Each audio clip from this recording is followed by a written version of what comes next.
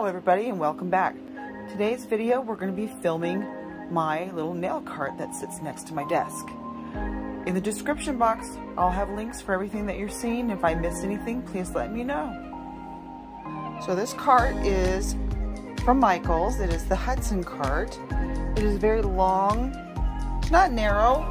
It's about the same size as a regular cart widthwise. And it has three shelves. I like this one because the shelves are a little higher so you can actually fit things on the bottom shelves compared to the other ones that I've purchased. And I will start showing you basically what I keep on it. So on the third and bottom shelf is where we'll start. This is basically my pedicure area. I have a lamp to do nail polish, gel polish, and then we have the foot bath itself. It's a massage one.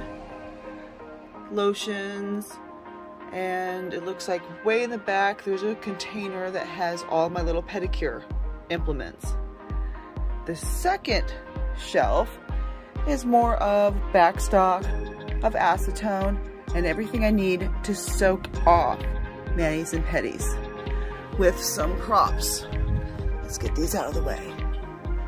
See, basically just that the Basco LA steam unit. It's cord. I just did a review on that. I'll try to put a link in the comments if I have it up beforehand because I'm still editing video. And then we have the tuck.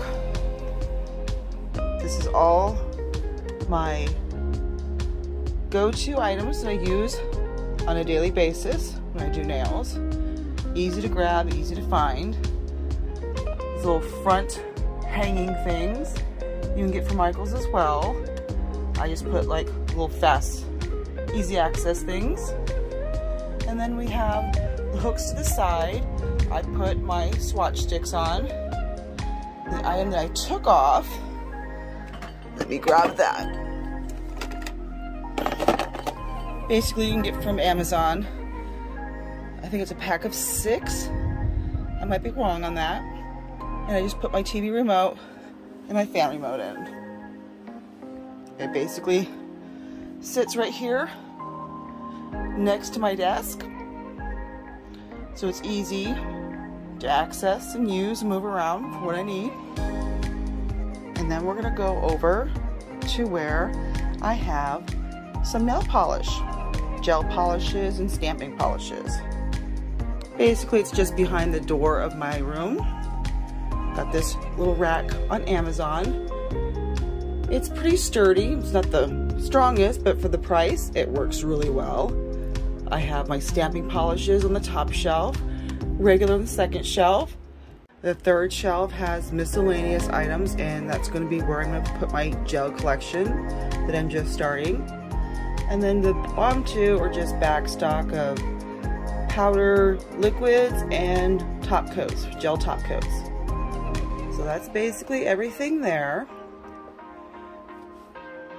And that's just a full view again of how I get everything done. If you like this video, please like, share, subscribe, and hit that notification bell. As always, thank you.